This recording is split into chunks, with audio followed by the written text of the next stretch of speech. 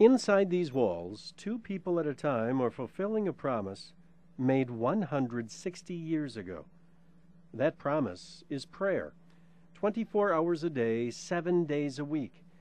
That's the mission of the Franciscan Sisters of Perpetual Adoration and lay people associated with the sisters called prayer partners. Our founding um, mothers and fathers wrote a charter of agreements in 1848 on the Feast of the Immaculate Conception, which is December 8th. And that's the same year that Wisconsin became a state, ironically. And these women and women were laymen and women, and they had a very devo strong devotion to the Eucharist, very strong devotion to prayer. So they brought with them these traditions. And as a result of that, our history is steeped in prayer. The sisters pray for the world, but they also pray for you.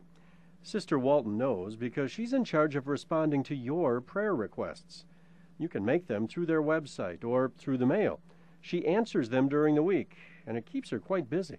On a big day, like on Monday when I come back and I haven't answered them since Friday afternoon, um, I will get probably as, as many from 80 to 120. She says there are all kinds of requests. Praying for one's health is common, for example, but certainly not the only request. We get a lot for the economy right now, employment. Students will call, write or call and say, please pray for me, I have this big test or Jim is up for his uh, medical boards, please pray for him. Sister Walton says before assuming this role, she was not a computer person. But in a rather strange twist of fate, after reading about all the difficulties some people face, she says the computer has become a source of comfort.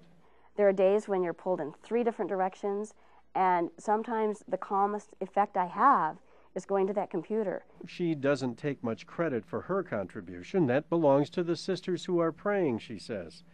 But Sister Walton is quite satisfied with her role and looks forward to her job every day. I'm honored, I'm in awe, and I just feel like in my very small way, in my little huddle of an office, that I'm able to make a difference in someone's life.